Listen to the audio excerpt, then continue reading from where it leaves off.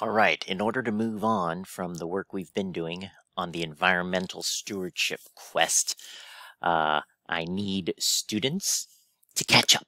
And here's what that looks like.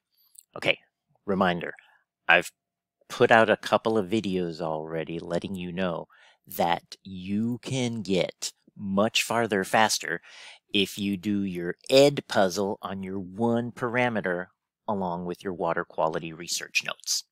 Do those two together.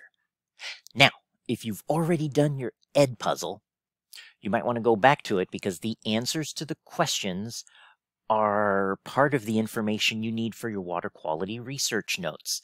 You're taking notes on your one parameter.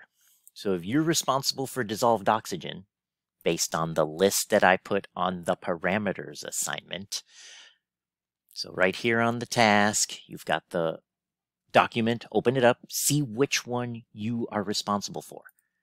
That's the one you do your Edpuzzle on, and that's the one you're going to take notes on for water quality research. Then, when you're done with those and you get over here, you're going to graph your data. You're going to make two graphs, but watch all three videos. Okay? You're going to have two graphs.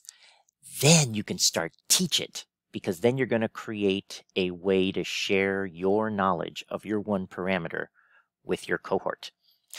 And we might actually have you do it like we're doing the passion projects. You might actually uh, present it or share your video or whatever you create to the whole group.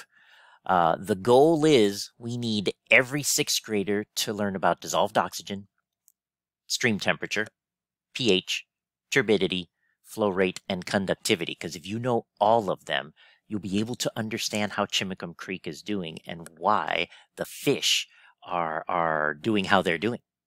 We got fish data, we've got fish counts. We need to know how our water quality is so we can tell how great or not it is for the fish. We want to know how's Chimacum Creek doing?